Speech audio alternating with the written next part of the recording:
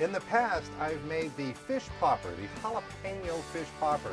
Today's the big version, using a big pepper for a crappie chili relleno, lots of cheese, great flavor, and a special guest from Camp Chef making Skookie. Oh, yeah. From the field and the water to the kitchen and the table. It's Hunt, Fish, Cook with your hosts Scott Leysath, the sporting chef, and Donnie McElvoy, one of the Southeast's favorite outdoorsmen.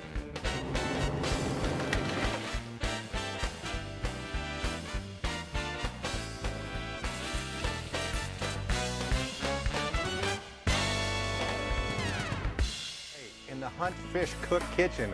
I'm going to show you what I like to do with leftover fish. And Steve McGrath from Camp Chef Stove here has what I assume is going to be the envy of anyone who's ever spent any time in a duck blind, camping. Man, Steve, what is this deal here?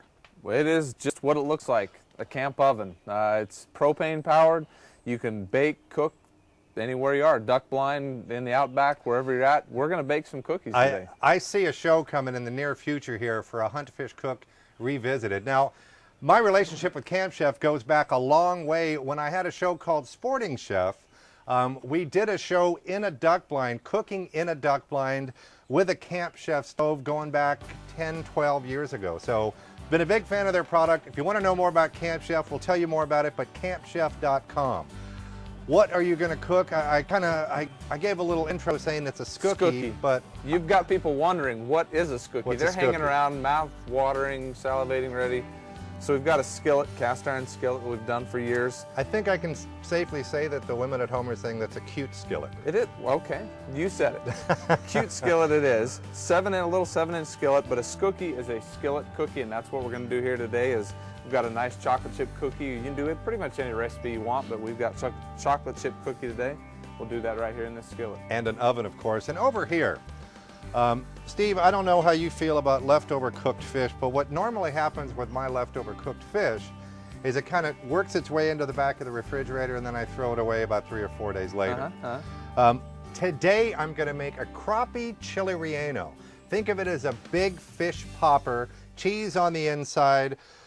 First thing you got to do is get some peppers like this. When they start off, you want to get the get them blistered on the mm-hmm. outside. Mm-hmm. So I put them onto that Camp Chef grill box, got it nice and hot, blistered them on the outside. I'm going to peel the skin off this. Then I'm going to show you what we're going to do to stuff it all in there. I've got some orange cheese. You know, it's going to be really good flavor. It's going to be crunchy on the outside.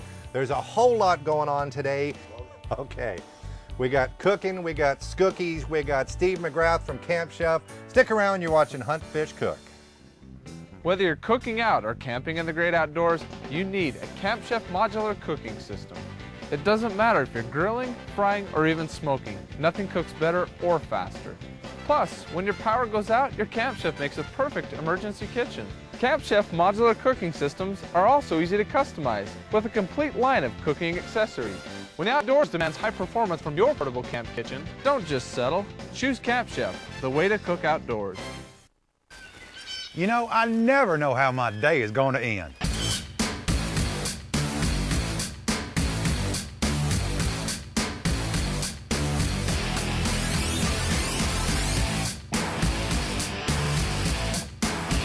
But I always know how my day is going to begin.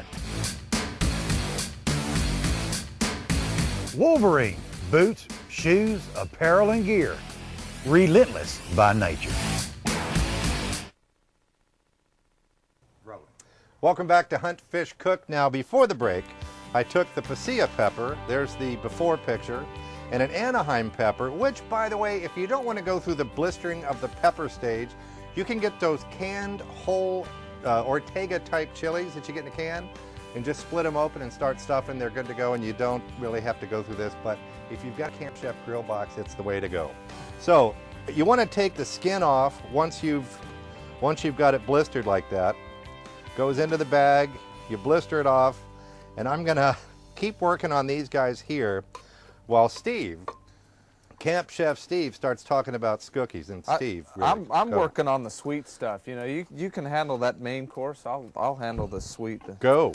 cookie dough. So Skookie, like we talked about, just a skillet cookie, and here we've got chocolate chip cookie dough, very plain and simple, but you can basically do anything you want with it.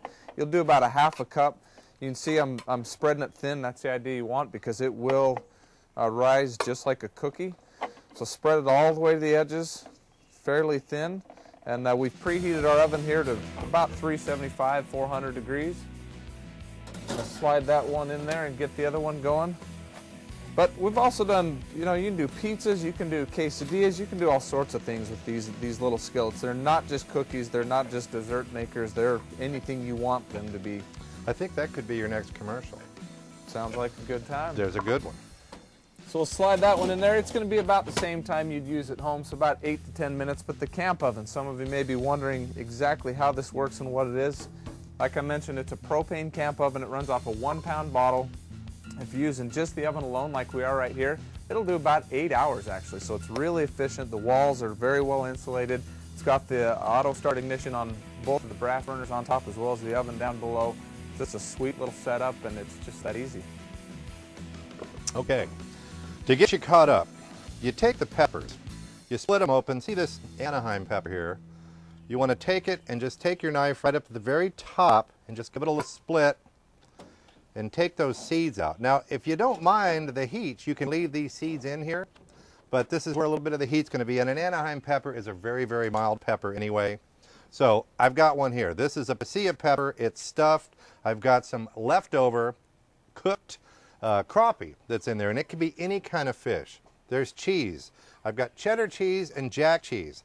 And if you're not real careful with it, very often these things split open and it can be kind of frustrating. So what I like to do is just take a little skewer or a toothpick and go ahead and put that right in there and keeps it all together. Um, if you're really, really good at it, you're only going to split it about maybe a third of the way down. And of course, if you overcook your pepper, then you've got this real soft pepper and it doesn't really work all that well. Um, again, the canned Ortega type whole roasted chilies work well. So now's the frying part. Over here, I've got the Camp Chef Dutch oven. Uh, what's our temperature on that? Because I want about 350, no more than 360. We're, we're looking a little over that, so we'll turn it down. So we'll turn that down. That'll cool off for a little, little bit. 350, 360. Let me season this up. I've got some masa flour.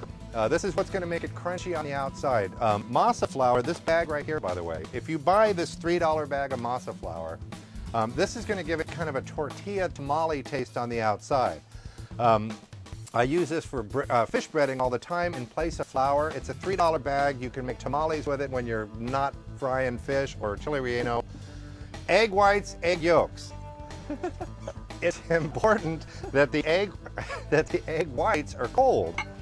And you just want to basically whip up these egg yolks. Steve, I want you to pour those egg yolks into the egg whites and give them a, a firm thrashing. And I'm going to season this with the Hi Mountain Seasoning Gourmet Fish Seasoning. This is a great seasoning. Steve, you've used it a bunch Very of times. Good. We're big fans of Hi Mountain Seasoning. Check them out at himountainjerky.com. I'm going to put some of that into the batter, and I'm going to put even more over here. And Steve, your skookie is is doing its thing. It we smells good? that way. All right. Yep, we're headed that way. All right, so you take the pepper, roasted, stuffed pepper, you rub it you, in this uh, masa flour, and what this does is it makes the egg batter stick to the relleno. And that goes in here, and then our oil. You say our oil's still a little warm? I think we've brought it down. We're we're down closer to 350 now. All right.